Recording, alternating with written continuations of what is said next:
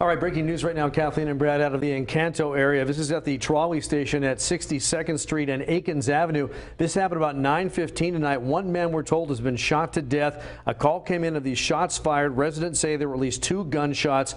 One man was found face down there. Responders tried CPR, but unfortunately the victim died at the scene. Homicide unit detectives are now currently investigating what happened. We don't have any information at this point regarding the shooter, and we'll have updates, of course, online and starting on the Fox 5 News tomorrow morning at 4:30. Kathleen?